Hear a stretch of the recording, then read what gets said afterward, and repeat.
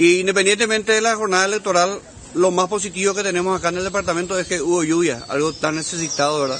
Que se venía reclamando debido a la sequía realmente acuciante que se tiene en la zona.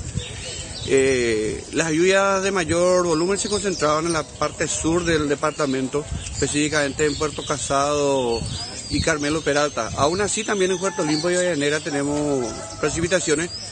Eh, los comicios se iniciaron puntualmente a las 7 de la mañana. Son un total de 14.155 electores habilitados para sufragar en los cuatro distritos del Alto Paraguay.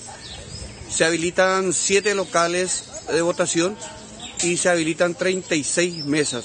Se eligen cuatro intendentes de los distritos de Carmelo Peralta, Puerto Casado, Puerto Limpo y Bahía Negra, y un total de 42 concejales municipales titulares y suplentes.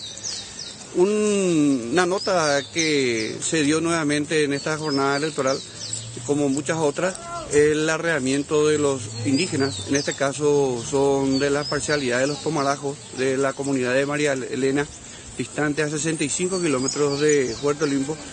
Ellos llegaron ya el día viernes en una embarcación y permanecían arrinconados en un en el local del tinglado municipal, donde les sorprendió también la lluvia y con el material de apoyo que tenemos veíamos la manera que amanecieron estas personas, Roberto. Bueno, Carlos, eh, interesante lo que estás contando, experiencia allí en el Chaco, sin mayores incidentes hasta ahora entonces. ¿eh? Sin mayores incidentes y vuelvo a repetir, la noticia más positiva independientemente de la jornada electoral se da con las precipitaciones, algo que tanto estábamos necesitando acá en el Alto Paraguay y están continuando con fuerza en la parte sur, específicamente en Puerto Casado y Carmelo Veralda. Bueno, eh, Carlos, vamos a estar atentos, por supuesto. Jenny, ¿vos querías consultar de algo? Sí, quería saber un poco también, Carlos, más que nada cómo se están movilizando las comunidades indígenas, que son las que siempre están eh, también buscando apoyo para trasladarse en este sentido. Carlos, ¿qué novedades se tuvieron en las últimas horas con relación a eso? Acá en Puerto Limpo las comunidades indígenas están todos cercanas acá a la, población, por eso es que no se tuvo mayores inconvenientes y esta comunidad de los Tomarajos es lo que llegaron el día viernes ya en una embarcación.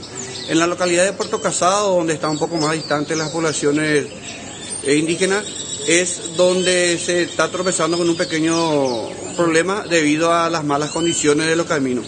Claro. Aún así está sobresaliendo el aparato estatal que como sabemos tiene mucha fuerza en esta situación.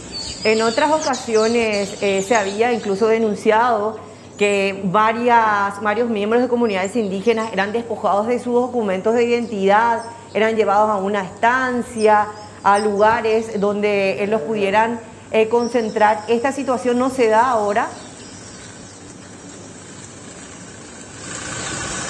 No se da, Jennifer, porque independientemente a, a esos trucos, a esas malas costumbres de los políticos, también los indígenas evolucionaron mucho en esta situación. No entregan sus documentos. Carlos Getapio, pero mira, eh, mucha lluvia, o sea, vino a aplacar un poco toda esa preocupación que había por el tema del agua. Por eso digo, Roberto, acá en Puerto Limpo hasta el momento ya cayó un promedio de 40 milímetros y se anuncia más lluvia para el transcurso del día de hoy y mañana. En Puerto Casado y Carmelo Peralta ya se registraron más de 60 milímetros y viene realmente como una bendición de Dios para aplacar esta sequía extrema que se está teniendo en la zona. Bueno, ¿y qué, qué información tenés en toda la zona chaqueña o en algunos lugares así muy puntuales nomás las lluvias, Carlos? En lo que se refiere acá al Alto Paraguay es en toda la, toda la zona, pero las mayores precipitaciones se dieron en la parte sur del departamento.